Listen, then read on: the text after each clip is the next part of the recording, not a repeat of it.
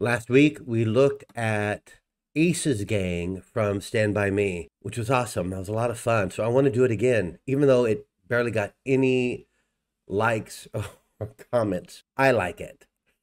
And we looked at Casey. I became a fan of Casey Siemaszko, this guy, who was one of Ace's gang and is a great actor.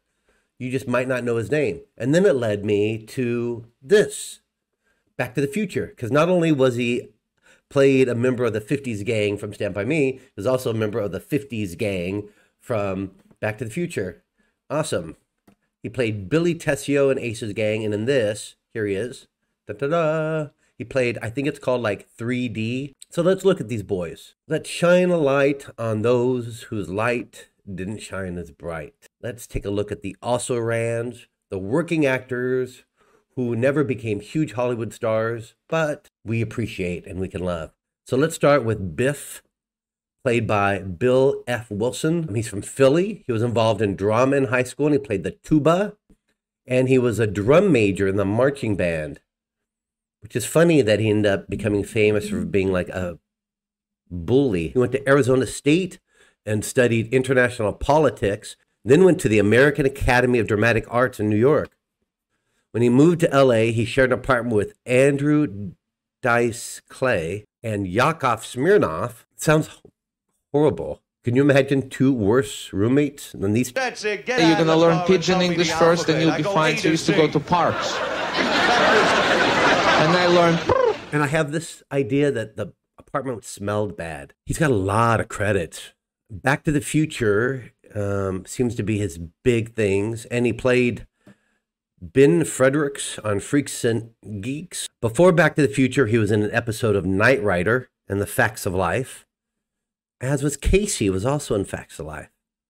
He voices Flats the Flounder in SpongeBob SquarePants. Tell the class something about yourself, Flats. Well, I like to kick people's butts. He's a devout Catholic, which is surprising in Hollywood. And he released a contemporary Christian album in 2000 called In the Name of the Father. I didn't even know Catholics did that. I thought Christian music was purely an evangelical fixation. Don't get me wrong, I love me some good Christian music. El Shaddai, El Shaddai. I just didn't know Catholics did that. Let's see if we can find it. Maxi pads, I told you, those are knee pads. You stick them back on and get back on the soccer field. I don't care what people say. He's also a painter, does lots of stuff. Let's see if I can find any of his paintings. Yeah, but I like that it said they said he said he did paintings. It didn't say he did art. There's a difference. It's like his movie, Back to the Future. It isn't a film, it's a movie. The difference, right? You ever get in that argument with people? I do. What's your favorite movie? What's your favorite film? Maybe that's just me being an asshole, but if I said my favorite movies, there's lots of Steven Spielberg movies I'm going to name that are just fun movies, like Big, Back to the Future. Those are good movies. If I say my favorite film, then I'm thinking like Godfather. Um, can't think of any other films. Here's his Facebook page that I am now a member of. So go on there and support him. He's because he's a big part of our pop culture, which is appropriate that he should paint pop culture now. Yes, action. Hi, folks. Tom Wilson here, ready to perform my first big comedy special. You all remember me, Biff, the bad guy, in all three Back to the Future movies, Freaks and Geeks, The Informant, the Matt Damon. Th- I'm just kidding. Nobody cares about Matt Damon. But this, to me, is what it's all about performing live for live human beings, because that's who I care about people. That's what this business is all about. Is that all right? Good. All right. Cut. Mr. Wilson, let's go. Quick picture. They're No, introducing me right now. One quick question. Can I get a, an autograph from Michael J. No, Fox? I don't know. You see him, don't you? They're introducing me right, now, now. Look, quick, butthead, butthead. Oh, Do the All right, butthead. you Real butthead? quick. Yes. Okay. Okay. All right. One, Butthead. two, three. Oh, there you go. Ready for the show. All right. It's simple, harmless humor. What do you want? He was Biff from Back to the Future, so who am I to rag on him? That's awesome. So why don't you make like a tree and get out of here? Uh, recap um, Casey Siemaszko, we talked about earlier. He's also in Young Guns, of Mice and Men. Who's this? J.J. Cohen as Skinhead. So that's him there. He's got the black glove on and the yellow shirt. Ooh, he got fat, which happens. J.J. Cohen looks like every American man that comes to London on one of my tours. Cohen's first feature film was in the 1985 film Paradise Motel. It was not until 1985 he would get his big role in the film Back to the Future as Skinhead, a member of Biff's gang. Ooh, he was originally up for the role of Biff, but did not appear physically intimidating when standing against the six foot tall Eric Stoltz, who was originally cast as Marty McFly. Yeah. Writer and producer Bob Gale noted that had the much shorter Michael J. Fox been cast as Marty from the beginning, as they had hoped, Cohen probably would have played Biff. Dude, Cohen has appeared in television series including V, the series. That was great. Let's look that up. Did you love V? Come on, X Gen. We loved V.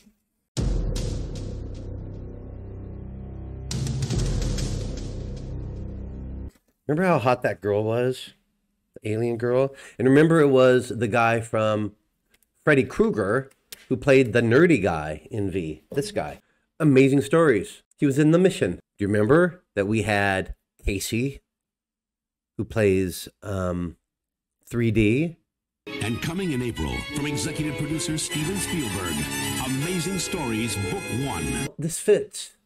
Steven Spielberg is the director of Back to the Future. Steven Spielberg is the producer of Amazing Stories. Of course, he's going to cast people he's already worked with before. Duh. All right, so I'm going to assume that's him right there. That looks like him. And that very top.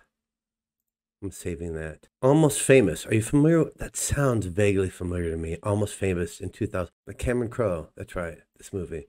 And so who did he play? Let's look. Damn it, you didn't even get credit on it. That's what happens. If he was Biff, if he had gotten Biff, he'd be credited on all these. Almost. He was in a movie called Almost Famous, and he was almost famous. I wonder what he's doing now. Here's his Facebook. Let's become friends. I'm going to share this with you. That way you can become friends with him too. Nipping. Let's all be friends with JJ and tell him how much we like him in Back to the Future. Bringing in the new year, a free talk by JJ. Hi, everybody. This is JJ Cohen, and I want to welcome you and thank you for participating in the event tonight. Then their forgiveness of me is none of my business. All right, well, that's not bad advice, right? Got a nice career, buddy. Billy Zane as Match. Billy Zane. He looks very familiar to me. Oh, Match, because he has a matchbook in his mouth. He's an American actor.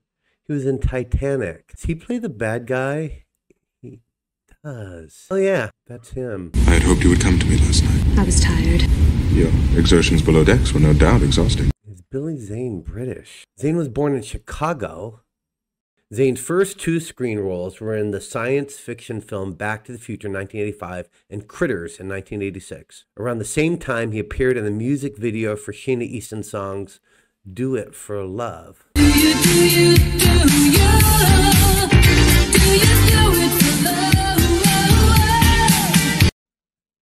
Ugh, man. YouTube, do not do not demonetize me because I played that song. It's not worth it earned him an MTV Movie Award nomination for Best Villain. All right. MTV Music Award. I don't, weird I'm even looking this up. But are you curious too? Kinda? Look. The problem with the Best New Artist Award is that you can only win it once. Even so, it's nice to get it. And one of these artists is about to.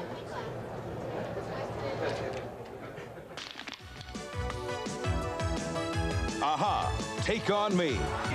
Hooters, and we dance. Whitney Houston, How Will I Know? Pet Shop Boys, West End Girls. Simply Red, Holding Back the Years.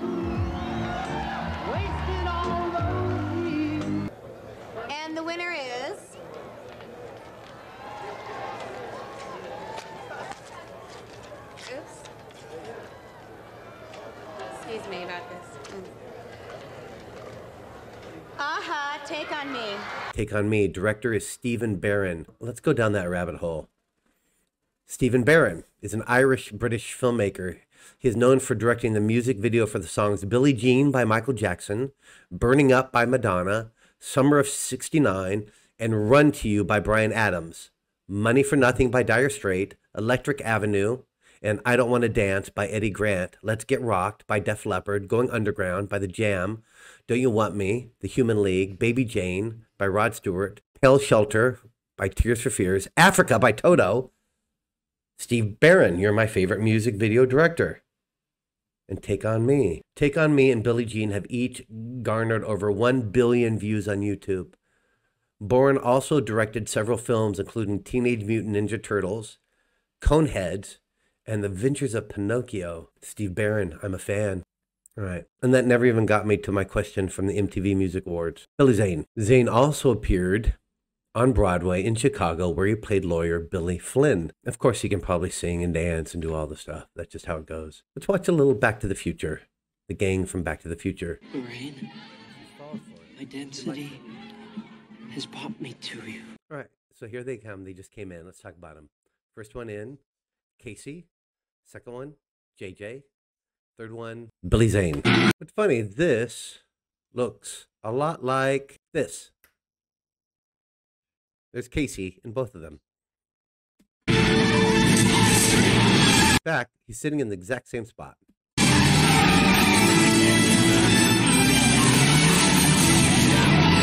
All right, I'm not going to keep watching the movie. You've seen it. I went and saw Back to the Future, the musical in London, the West End. Been running a long time. So bad. It's a sin that it even exists. And with this new invention, I'll cut through the fourth dimension. God, it works, it works, it works. It reinforces the idea of why people hate musicals. Which other one should we do? Oh, I had a recommendation. So Terry TK Butter recommended that I do The Boys from Dead Poet Society. We all know what happened to Ethan Hawks and even this guy, Robert Leonard. What about Charlie and Knox and Richard and all of these? Figure out what happened to those boys next time on The Also Rans. It's strange that a dog will eat a dead bird, but will never eat a grape.